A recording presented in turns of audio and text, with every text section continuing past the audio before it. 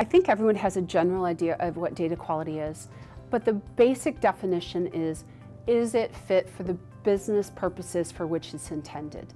Why should it matter to you?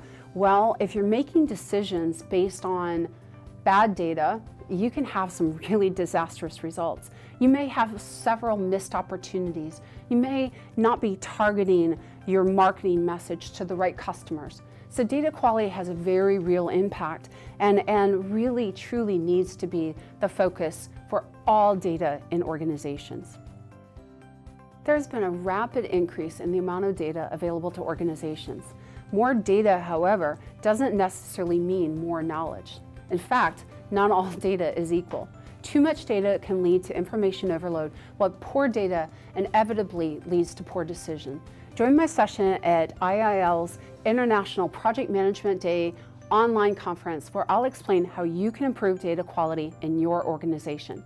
Don't wait, register today.